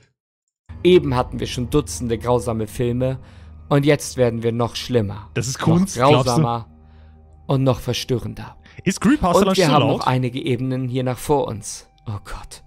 Oh Gott. Woman's Flesh, My Red Guts. Dieser Film wurde von Tamakichi Anaru gemacht und im Film geht es um Frauen, die gezeigt werden, wie sie sich Okay. selbst ihr Leben nehmen. Den zentralen Punkt bildet hier eine Frau, die in Depressionen versinkt, nachdem ihr Ehemann sich von ihr trennt, weil er sich in eine andere verliebt hat. Aus diesen Depressionen heraus fängt sie an, sich selbst zu verletzen und treibt die Selbstzerstörung immer und immer weiter voran. Es handelt sich erneut um einen Film, der sich dem Foltergenre zugeordnet sieht. Dieser Film zeigt die brutalen Szenen in einem VHS-Style und das Gesehene wird dadurch nochmal realistischer. Es handelt sich hierbei aber auch um einen relativ kurzen Film, der nur 50 Minuten lang ist. Ostermontag Ostermontag ist ein Film von Heiko Flipper aus dem Jahr 1991. Es geht hierbei um einen Mann, der sich in eine Frau verliebt und daraufhin sie und ihre Stiefschwester zusammen mit einigen anderen Personen entführt, foltert, missbraucht und ermordet. Okay, irgendwie passt es nicht, dass der Typ, der den Film geschrieben hat, Heiko Fipper heißt. Was, was, wird, ein, äh, was wird ein Heiko Fipper für einen Film normalerweise machen? Irgend so eine deutsche Romanze, die aber richtig unangenehm ist. Sehr blutige und brutale Szenen zeigt dieser Film. Er ist definitiv in dieser Ebene gut passend. Angela Fipper. Girl Hell 1999.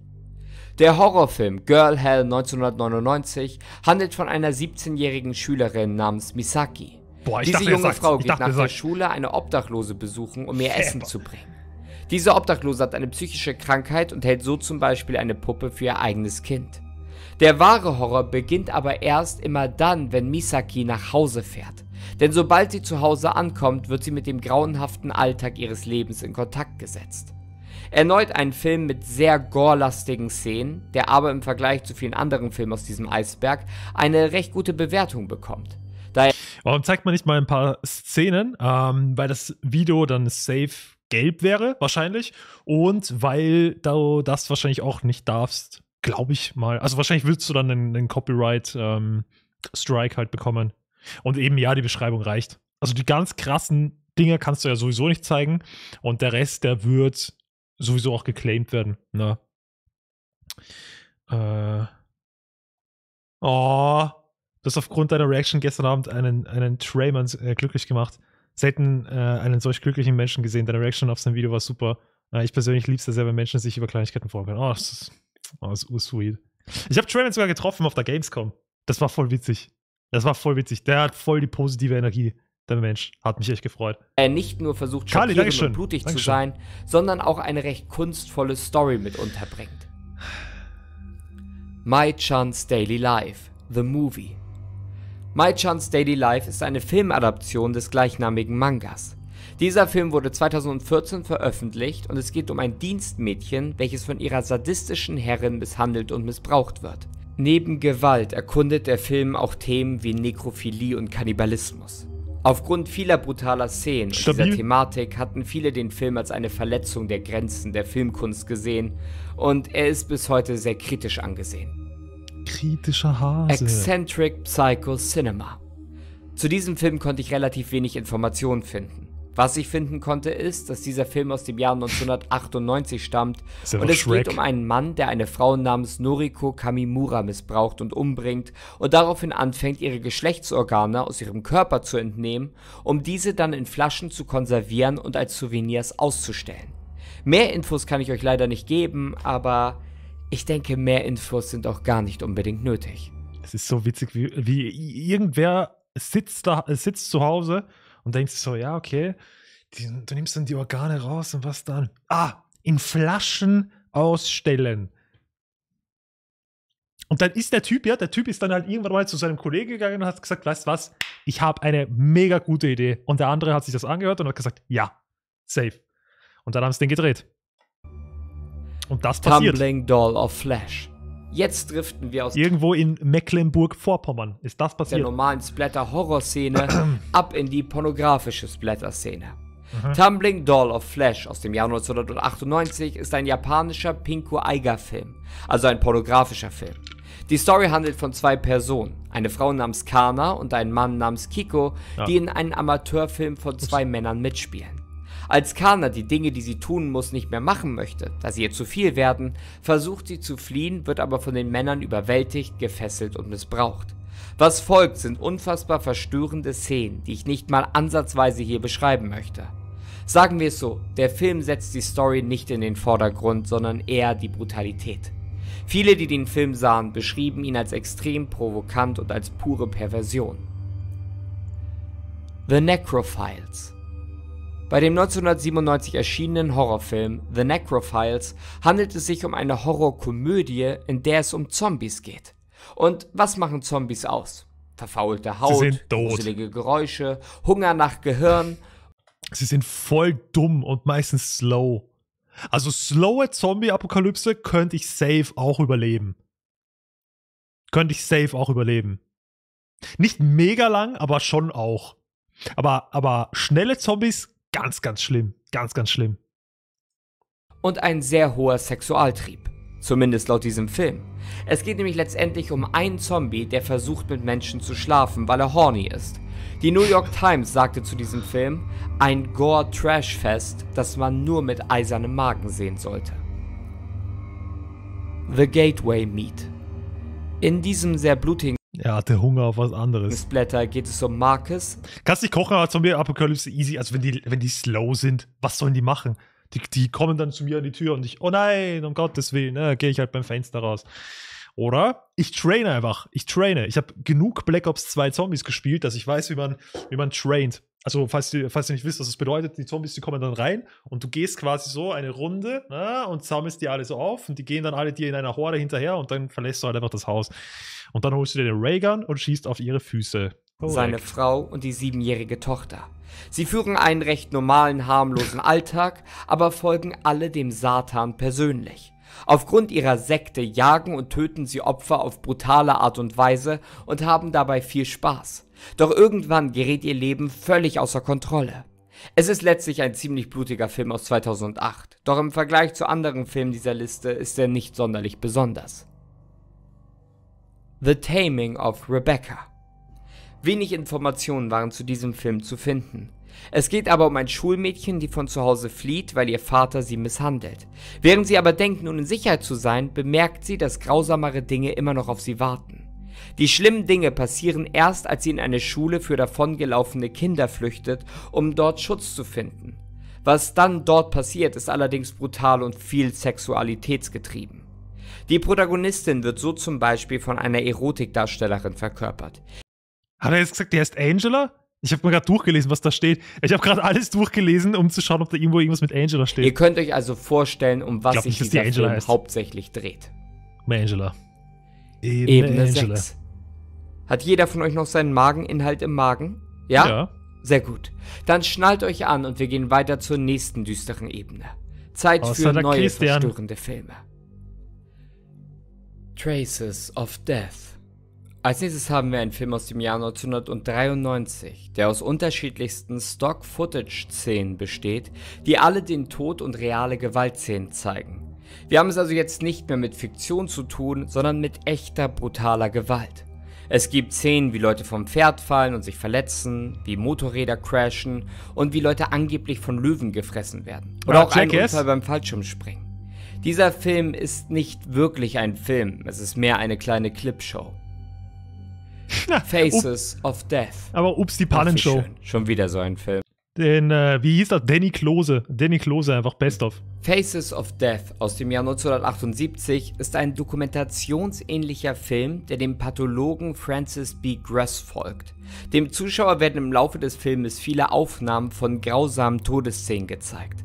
Zwar sind einige der gezeigten Szenen nicht echt und lediglich gestellt worden, die meisten zeigen aber echten Gore, ähnlich wie bei Traces of Death. Also ich bin auch kein Fan von so Gore und sowas. Also in Filmen, okay, von mir ist es überhaupt kein Problem. Das ist jetzt nicht so mein Ding. Aber so, so echte Gore-Videos und sowas, das würde ich mir nicht anschauen, weil das ist halt einfach nicht meins.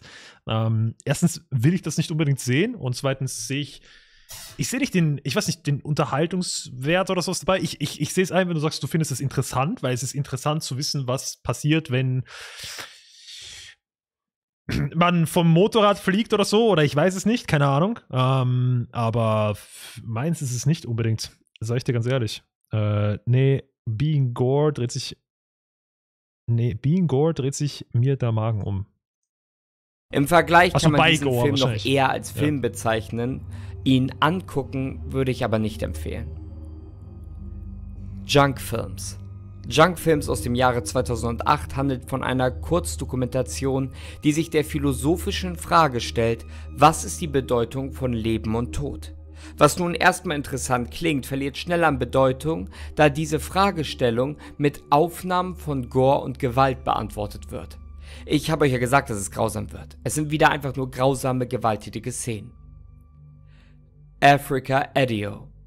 Africa Edio ist ein italienischer Dokumentarfilm aus dem Jahre 19 Oh mein Gott, boah, boah, ja, wir, Angelo, Angelo Rizzoli, ja? haben wir wieder hier Music by Riz? Äh, Angelo. 1966. Es geht in dem Film um die Dekolonisation von Ostafrika, besonders der Mau-Mau-Krieg in Kenia und der Völkermord an arabischen Sansibaris bei der Revolution von Sansibar wird in den Fokus der Dokumentation gesetzt. Okay. Der Film zeigt zudem Plünderung und auch Hinrichtung. Viele werfen dem Film nicht nur eine verherrlichende Gewaltdarstellung vor, sondern auch Rassismus. So sagte der Filmkritiker Roger Ebert, dass es sich bei Africa Edio um einen brutalen, unehrlichen und rassistischen Film handelt, der einen ganzen Kontinent und den menschlichen Geist verleumdet. Orozco Zambolma der spanische Film aus dem Jahre 2001, Roscoe the Embalmer, zeigt in extrem grafischem Detail, wie eine Leiche konserviert wird. Ja, das ist extrem interessant. Es gibt da so ein Video auf YouTube, also es gibt da generell mehrere solche Videos äh, von irgendwelchen Leuten, die erklären, wie ihr Beruf funktioniert. Und der ist eben auch so ein, ich, ich weiß gar nicht, wie das, so, ich weiß gar nicht, wie das genau äh, heißt, auf Deutsch quasi ein so Konservierer oder wie auch immer. Na, so ein Leichenpräparator, was weiß ich, ich weiß nicht genau, wie das heißt. Also so wie, wie ein Bestatter, nur der halt die Vorbereitungen dafür äh, erledigt. Und ich könnte das niemals machen. Ich könnte das niemals machen. Ja, Bestatter, aber Bestatter ist es nicht quasi nur die, die Aufgabe, den, äh, also das, quasi das, den, den, den Sarg zu befördern und äh, das, das zuzuschütten oder vielleicht irgendwie auch die Grabpflege oder sowas. Ich weiß nicht genau. Wurscht. Auf jeden Fall halt so, so jemand. Ähm, und es ist sehr interessant, aber es ist überhaupt nichts für mich. Vor allem, weil du, okay, die machen alles. Okay, okay. Ähm, weil du eine sehr, sehr enge Beziehung mit dem Tod halt eben dann halt hast äh, und das sehr natürlich für dich ist. Und ganz ehrlich, ich weiß auch gar nicht, ob ich wissen will, wa- wie da, wie da mit den Menschen so umgegangen wird. Also mit denen wird ja nicht schlecht umgegangen. Darum geht es mir nicht. Nur es ist irgendwie so, du möchtest es nicht wissen, dass jemand gerade eben einen toten Menschen so wäscht oder so mit so einem Schlauch, also so wie so ein Gartenschlauch oder sowas. Ähm, keine Ahnung, ist nichts, woran ich gerne denke, sondern das ist einfach, ja, die Menschen, die gehen von uns und dann sind sie im Sarg und fertig. Es geht hierbei um den Konservierer Fräulein Orozco Duarte, der in einer von Verbrechen heimgesuchten Gegend von Bogota lebt und arbeitet. Da der Film so drastisch die Verarbeitung einer Leiche zeigt, ist es definitiv nichts für schwache Nerven. Black Metal Veins Der im Jahr 2012 erschienene Dokumentarfilm Black Metal Veins Lucifer. wurde von Lucifer Valentine erschaffen. Dieser Name sagt euch zwar nichts, aber vielleicht werdet ihr einige seiner vorherigen Werke kennen. Denn er ist verantwortlich für die Vomit Gore Trilogie. Ich dachte, wir hätten das hinter uns. Man muss aber sagen, dass in dieser Dokumentation alles etwas anders ist. Es geht nicht einfach nur um das Zeigen von brutalen Szenen, Blut und Gewalt, sondern es soll auch die Mädel, Leute. Gefahren von Drogen auf dem menschlichen Körper in einem ernsten Detail präsentieren. Stimmt, das ist der Erfinder von Angela, oder? So sehen wir zum Beispiel den Verfall von Abhängigen, die alle möglichen Substanzen zu sich nehmen. Glaubt mir, der Film ist brutal und er ist real, aber man könnte vielleicht streiten, ob er noch einen Mehrwert hat. The Dark Side of Porn. Kommen wir zum nächsten Dokumentarfilm oder besser gesagt einer Dokumentarreihe. The Dark Side of Porn kommt aus Großbritannien und es geht kritisch um die Erotikfilmbranche.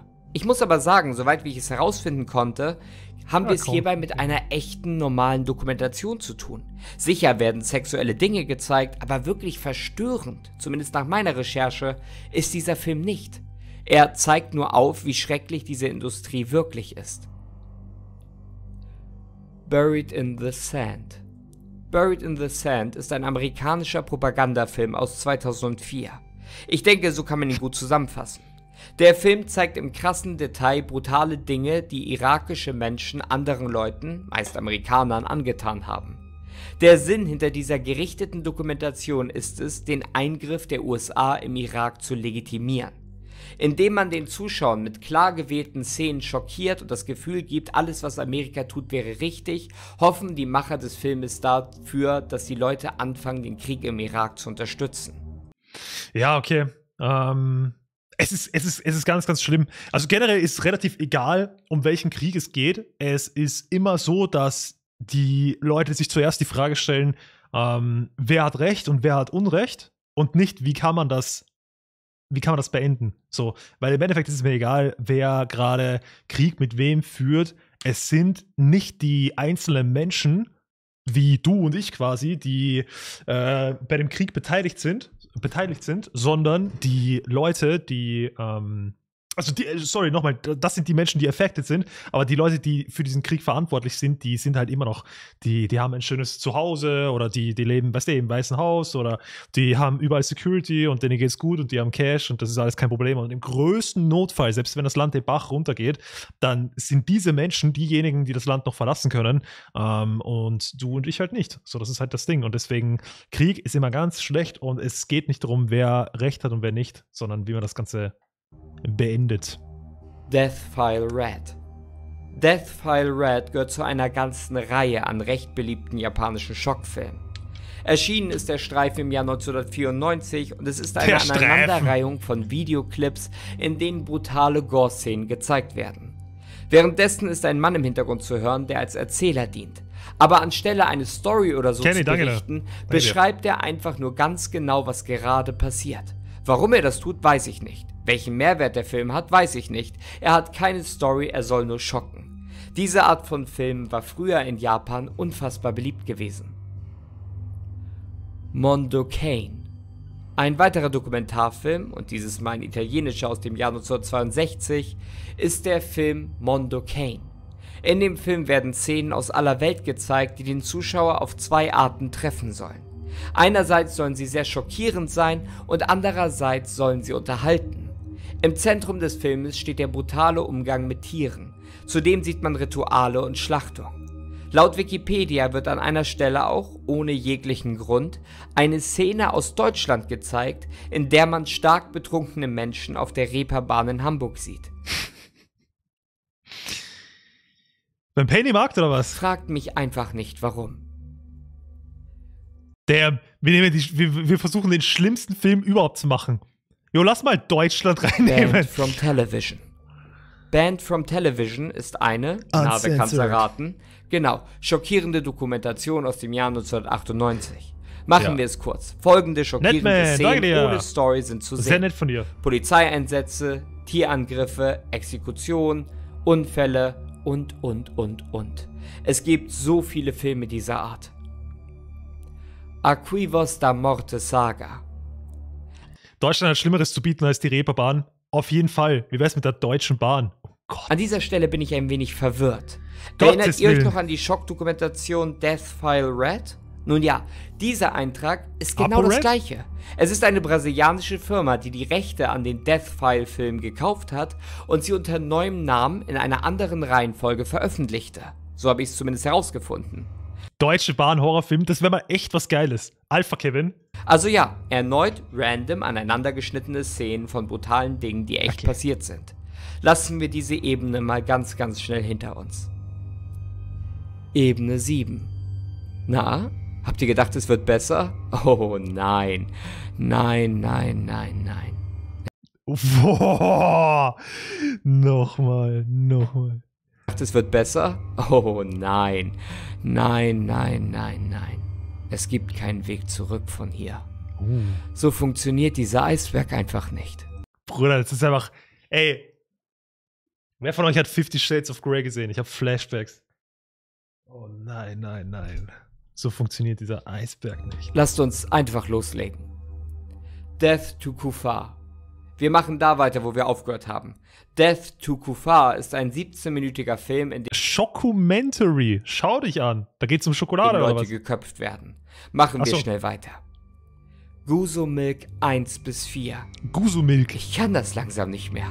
Ey, wer hätte Bock auf den Schluck Gusumilk?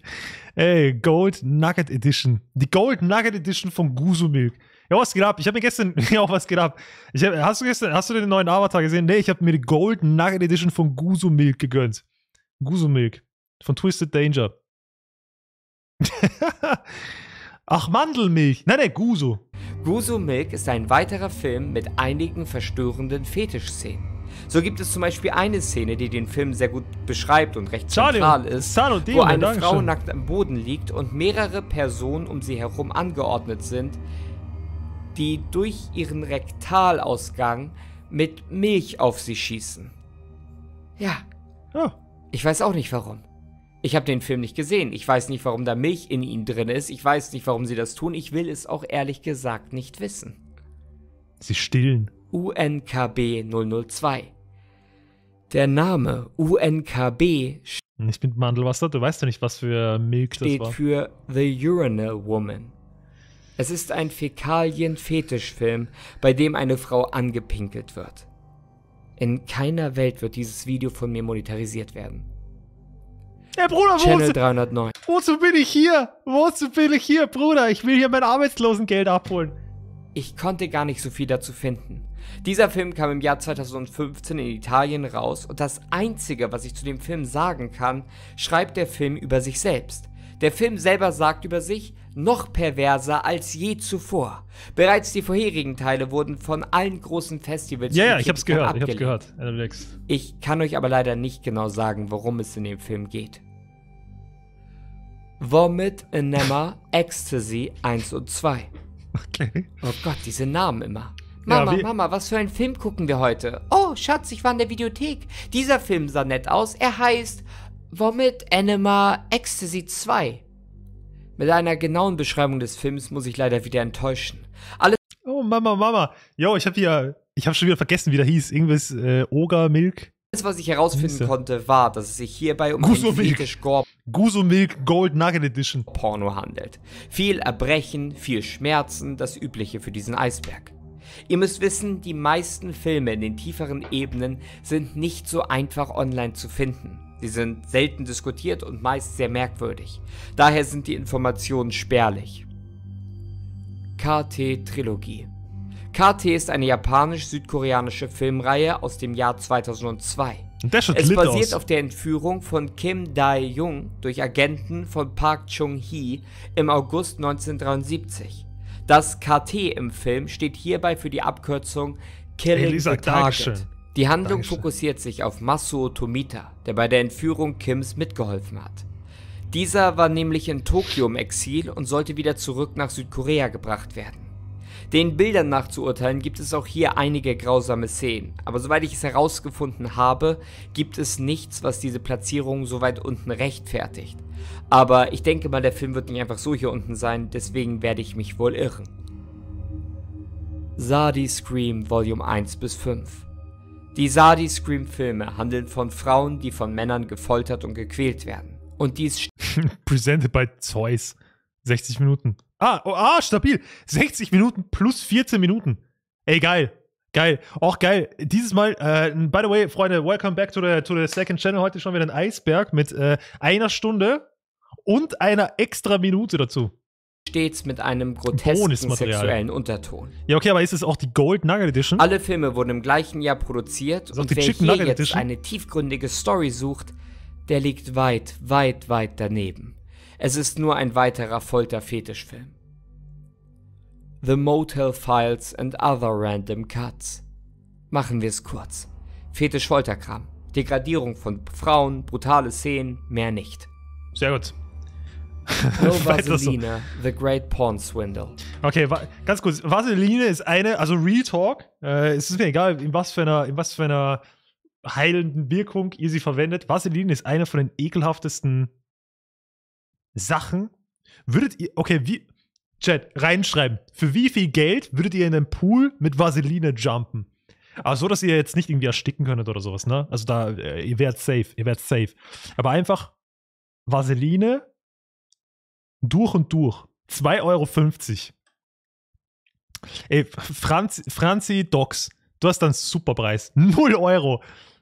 0 Euro, 1 Euro, 100. Das ist doch viel zu wenig. Okay, 10.000 ist ein bisschen Overkill. Ich zahle 5 Euro. Für den Döner. Ey, ich würde sagen so 200. 200. Weil danach musste ich auch abwaschen und so. Das ist ekelhaft. Und du denkst du so, äh, keine Ahnung. Wobei, es wäre eine coole Story. Mach mal 150. 150. Riecht leicht nach Diesel, stimmt. Wäre auch voll die geile Experience. Ja, I don't know. Don't know. Wer bei diesem Titel eine Dokumentation über die Erotikbranche erwartet, der liegt absolut falsch. Es ist ein weiterer Fetisch-Folterfilm. Sehr brutal, sehr pervers. Gehen wir weiter. Vans? La Furca? Squirmfest. Wisst ihr was? Ich lese euch einfach die Beschreibung des Filmes vor, die ein Fan im Internet unter dem Film geschrieben hat. Machen wir das. Zuerst isst er einen Teller mit Nudeln und Würmern, bevor er zum Klavierspielen übergeht. Sobald er zum Spielen beginnt, bekommt er einen guten Einlauf und verteilt ihn auf dem ganzen Boden. Dann wird er gezwungen, es zu essen. Aber es kommt noch schlimmer. Es wird eine Reihe von Einläufen gezeigt, bevor es zum großen Finale kommt. Er muss eine riesige Kakerlake, Würmer, Maden und seinen eigenen Urin in einen Mixer tun, das Ganze mischen und dann trinken. Wenn dir von diesem Film nicht schlecht wird, bist du kein Mensch. Ich denke, dieser Aussage ist nichts mehr hinzuzufügen. Kuso Limitless.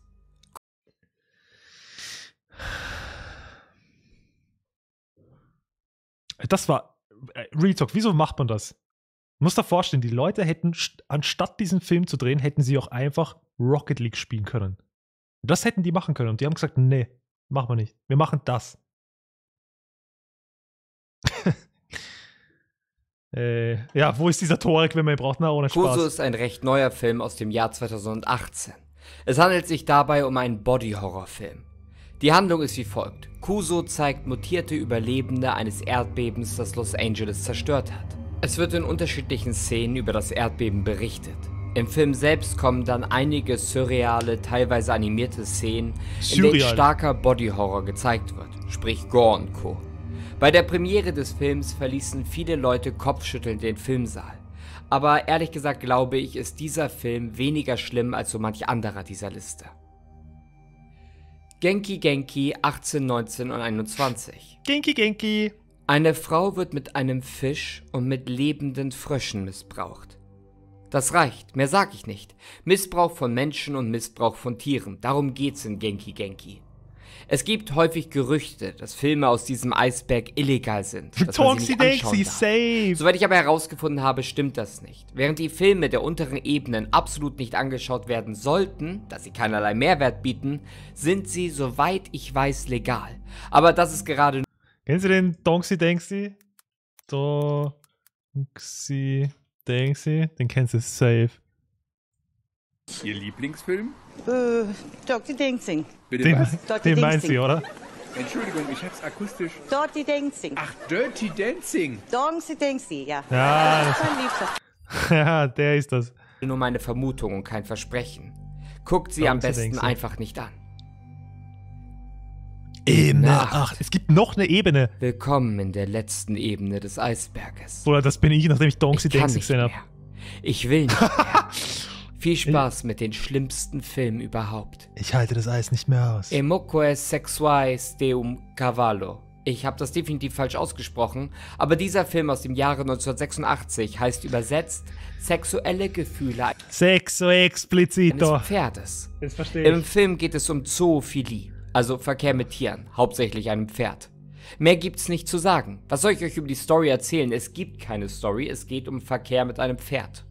Dieser Film hat übrigens eine 5,7 von 10 Sterne Bewertung auf IMDb. Ich frag mich, wer sich diesen Film anguckt und danach sich dachte, ja, war ganz okay. Leroy? Gib Snuff bitte- A73.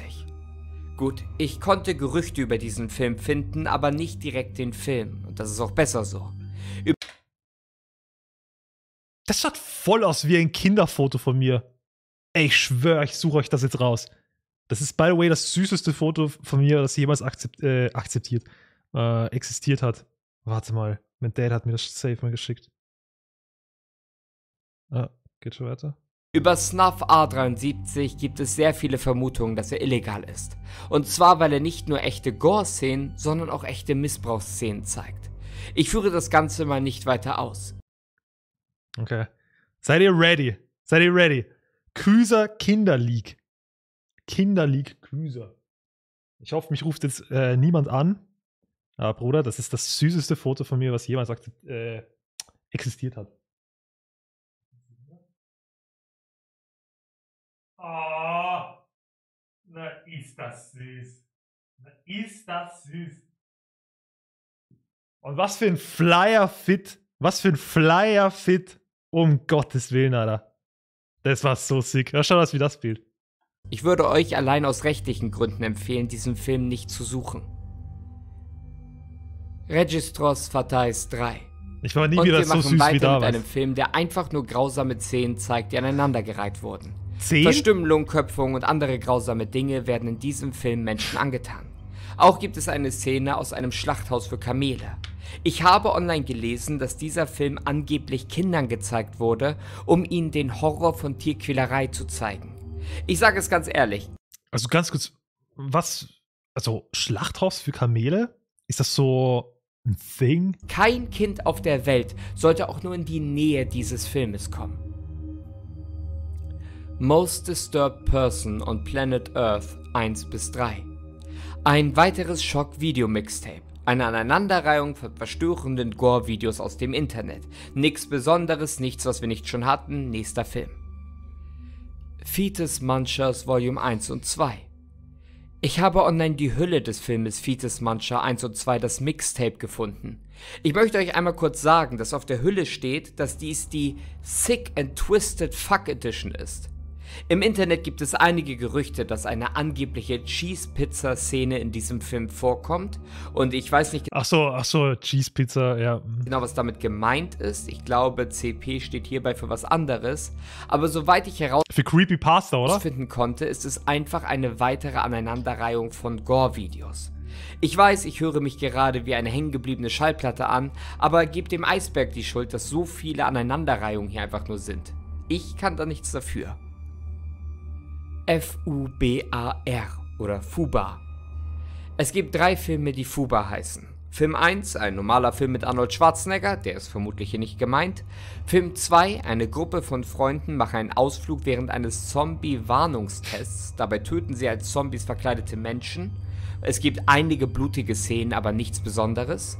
Und Film 3, und dies ist vermutlich der gemeinte Film, Fuba, der verbotene Film aus dem Jahr 2022. Dieser Film ist harmlos. Einige Szenen von Gebäuden, einem Mann in einer Pestdoktormaske und Naturaufnahmen mit einem seltsamen Filter. Es heißt, dass dieser Film angeblich in den tiefsten Tiefen des Darknets gefunden wurde, nachdem er mal verboten wurde. Dafür finde ich aber keinerlei Beweise. Ich glaube, Fuba ist einfach nur eine urbane Legende aus dem Internet und kein echter Film. Okay. Schließlich geht das aufgetauchte Video nur knapp vier Minuten. Kein Ohrhasen Ja, glaube ich auch. Da hatten wir gerade mal wieder ein bisschen etwas mit Inhalt, etwas, worüber man reden Kartoffelsalat. kann. Und jetzt kommen wir direkt zur Orgrish Collection. Was soll ich euch sagen, Leute? Ansammlung von Gore-Videos aus dem Internet, die aneinandergereiht wurden. Es gibt unzählige davon und sie haben auch immer noch mehrere Teile. Diese Filme, so schrecklich und verstörend sie sind, verkaufen sich scheinbar überraschend gut. Was ich euch sagen kann, ist, dass die Ogrish Collection vermutlich um das Jahr 2005 herum erschaffen wurde. Das sind Es ist Bruder vor Luder. Bros before Hoes. Das ist ein Banger. Ich weiß nicht, was du alle willst. wichtigen neuen Informationen, die ich euch leider geben kann. Das war so ein dummer Film, Alter. Porn Gore Volume 1 und 2. Okay, bevor wir das machen, bevor wir das machen, ganz kurz. Bruder vor Luder. Habt ihr den Film gesehen? Gottes Willen, Gottes Willen, so funny. Da verliebt sich der eine Loch, der eine Lochi in eine in ein Girl. Und der andere will ihn sabotieren, will die Liebe salut äh, salutieren, sabotieren, weil die, weil die eine Lügnerin ist und weil die nicht gut für ihn ist und so. Und da sind dann so Szenen dabei, da ist er zum Beispiel im Restaurant und hat ein Date mit ihr. Und der andere Lochi gibt in seinen Drink oder, oder in sein Essen oder sowas Abführmittel. Gottes Willen. Und dann sitzt er so da in so einem Restaurant und so, oh, ich muss mich gleich anscheißen und sowas.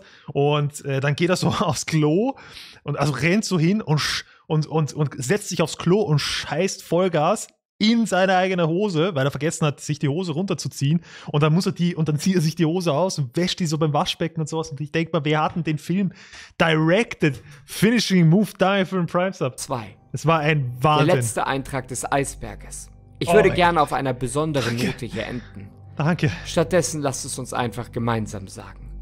Porn Gore Volume 1 und 2 ist eine Aneinanderreihung von Gore-Videos aus dem Internet mit der puren Intention, den Zuschauer zu schockieren. Okay. Es gibt keine Stories. Die Videos sollen schlecht aneinander geschnitten sein, schlecht bearbeitet sein. Und ganz ehrlich, guckt es euch einfach nicht an. Es gibt da draußen so viele wirklich gute Horrorfilme. Und es gibt selbst gute Horrorfilme, die überhaupt nicht bekannt sind oder nicht groß bekannt sind. Also macht euch auf die Suche nach normalen Filmen und verschwendet nicht eure Zeit mit solchem Dreck. Es lohnt sich Damn. einfach nicht. Front. Und das waren sie. Das waren alle verstörende Filme aus diesem gruseligen Eisberg. Ich hoffe, euch hat das Video gefallen. Ich hoffe, ihr guckt abseits der ersten Ebenen euch keinen dieser Filme an. Und ich hoffe, wir sehen uns das nächste Mal wieder bei was auch immer ich mache. Ich gehe mir jetzt die Augen ausreißen oder ich gucke meine liebste Trilogie. Bis dahin aber, tschüss. Ey. Shoutout. Shoutout. Schaut bei Creepypasta Lunch vorbei. Was ein, was ein wunderschöner Eisberg, der aber wirklich, also Film, Filme ohne Ende für jedermann, für jede Familie und so. Ähm, interessant, interessant. Ich sag's mal so. Äh, aber freut mich, dass ich trotzdem dabei war und dass ich äh, die ruhigeren Ebenen genossen habe.